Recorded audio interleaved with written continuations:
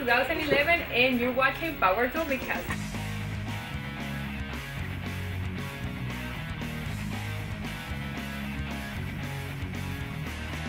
Hello, we're here with um, Senorita Makita 2011 and at the Hardware Sales Makita Truck Event 2011.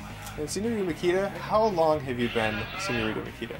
I've been Senorita Makita for around six months already. I started in November. It's a one year contract, so every year they pick a new one, but um, the 2011, so I'm the lucky one of this year.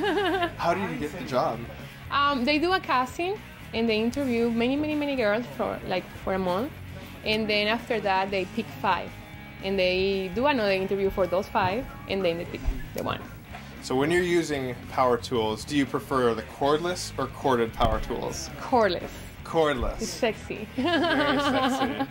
So, so um, as far as drills go and, and impacts go, what do you think out of all the tools your favorite tool is?